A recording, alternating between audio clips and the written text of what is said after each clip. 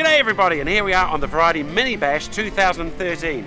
We're here on Sunday morning, not watching the America's Cup, but uh, at McDonald's for breakfast. And of course, we've got all the Bash teams here on the Mini Bash. Fantastic bunch of people. And of course, we can't do without these special people, the AA. Any problems with the cars this year? Oh, pretty light and quiet. A couple of small tyre jobs, small little things, but nothing major.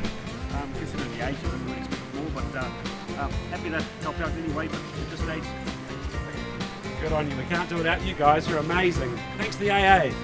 Have a great day, everybody. We're off to Kids and Cars at the Pukekohe Raceway. Have fun.